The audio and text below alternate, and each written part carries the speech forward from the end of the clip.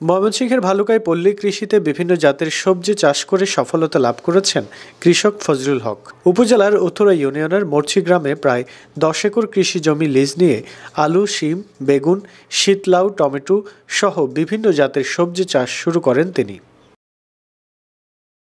জমিগুলো আপনার পতিতা ছিল। পরে আমার ছেলে আপনার লিসে নিয়া, পরে আপনার সিমের আবাদ দিছে। তা আমি তো ভাবছিলাম যে ওই জমিগুলো আমাদের সিম আবাদ দেয়া হয়তো লস হয়ে পড়ে নাকি? তে এখন আল্লাহ দিলে মোটামুটি সিমের যে ফলন, ওই অনুসারে মোটামুটি আমার ছেলে বালাই পয়সা করি উপার্জন হয়েছে বিক্রি করতেছে। তাতে ব্যাপারীরা ওই ক্ষেত থেকে আপনার কেনাকাটা করে নেয়। তে মোটামুটি এখন সিমের যা বেচা কিনা ওইটাছে যে এই বছর যে সুন্দর পরামর্শ দিছে, তাতে তার পরামর্শ আমি শুরু থেকে সিমের আবাদ করছি এই বেগুনের যেগুলা করছি, সবগুলোই আল্লাহর রহমতে ভালো। সরকারিভাবে আমি ওই কিছু, ওই জৈব সার, এই পাইছি কিছু, ওই আপনার ফাত ফেরমান ফাত পাইছি। এগুলার এই ফাত ব্যবহার করাতে অনেক পোকামুক্ত। আমরা ওই বেশি, এই অন্য অন্য বছর যেভাবে সিম করি, এই বছর এই বিষগুলা আমরা খুব কম ব্যবহার করে এই সিমগুলা ভালো করে জ্বালাইছে। এই, আমি প্রতিদিন মনে করি এখন বর্তমানে এই আট, নয় জন দশজন করে লোক প্রতিদিন কাজ করতেছে। আমরা যেভাবে কাজ করি, এখন যদি ওই এগুলা যে সরকারিভাবে যদি আরও কোনো কিছু এই ভালোভাবে কোনো কিছু পাই, দেখা গেছে লোন টোন পাইলে আমরা ভালোভাবে কিছু মানে এখানে মূলত দর্শনার্থী হিসাবে এসেছিলাম।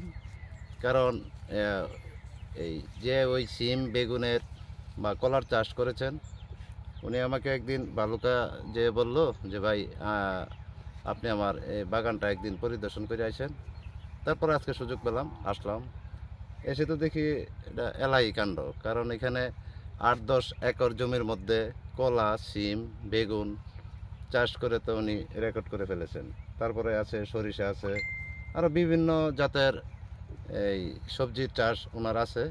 তো সত্যি এই এই সমস্ত উদ্যোগ নিয়ে যদি আরও কেউ করতে চায়, তাহলে আমার মনে হয় বাংলাদেশের যে সবজির যে ঘাটতিটা, এটা হয়তো আসলে আমি শুনেছি যে এখানে একটা খামার করা হয়েছে। খামারটা যে এত বড় আমি আসলে বুঝতে পারিনি। আমি ঘুরে ঘুরে দেখলাম যে আসলে বিষয়টা যে চমৎকার একটা খামার করেছে উনি। আসলে খামারির সাথে আমার এখনও দেখা হয় না আমি ঘুরে ঘুরে দেখতেছি যে বিষয়টা। আপনি দেখেন চারপাশে প্রচুর ফলন হয়েছে। শুধু শুধু যে উনি সিম গাছ করেছে তা না পেঁপে গাছ করেছে তারপর বেগুন গাছ করেছে আলু গাছ করেছে তারপরে হলো আপনার লাউ গাছ করেছে এরকম অনেক। মানে প্রায় দশ একর জমি নিয়ে উনি এই প্রজেক্টটা করেছে। মরচি টানপাড়া আইপিএম কৃষক মাঠ স্কুলের উদ্যোগে অত্র এলাকায় যারা নিবিড়ভাবে কৃষির সাথে জড়িত যারা সবজি চাষ করে, আমাদের আইপিএম স্কুলটা সবজির সমন্বিত বালাই ব্যবস্থাপনার উপরে।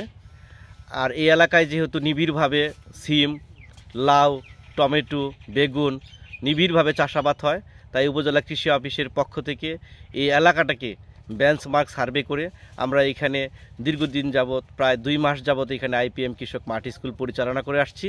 তারই ধারাবাহিকতায় আজকে যিনি এই কৃষক, এই সিম বাগানটি করেছেন, তিনিও আমাদের একজন আইপিএমের প্রশিক্ষণার্থী। তিনি স্কুল শুরু থেকেই এ পর্যন্ত আইপিএমের আলুকে এই সিম বাগানটি চাষ করছে। আর এই চাষ করার কারণে তার তার অভিব্যক্তি হচ্ছে, আগে সে এখানে এলুপাথারিভাবে, বিভিন্নভাবে বুঝে না বুঝে সে বালাইনাশক ব্যবহার করত। এখন এই আইপিএম কৃষক মাঠ স্কুলে সে যতই দিন যাচ্ছে, ততই সে প্রশিক্ষিত হচ্ছে। তারই ধারাবাহিকতায় তার বক্তব্যে এটা উঠে এসেছে। সে এই বছর একেবারে খুবই কম সংখ্যক যুক্তিসঙ্গত কারণে বালাইনাশক ব্যবহার করেছে, ফাঁদ ব্যবহার করেছে, সুষ্ঠু পানি এবং সার ব্যবস্থাপনা করেছে। এই সমস্ত বিষয়ের প্রশিক্ষিত হওয়ার কারণে সে ব্যাপক সিমের আবাদ করার কারণে ব্যাপক ফলনও পেয়েছে এবং ভালো বাজার সে ধরতে পেরেছে। ইতিমধ্যে আপনারা অবগত হয়েছেন।